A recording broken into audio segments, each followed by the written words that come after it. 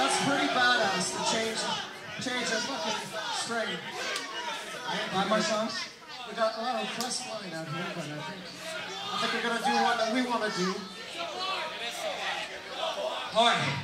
But before we do, I just want to give one shout out to the staff at Pier 21. Every weekend they come out here so we can have a good fucking time. Give it up for them. This one is for us. This is what we're gonna do when we're done here, just so you know. Thank you.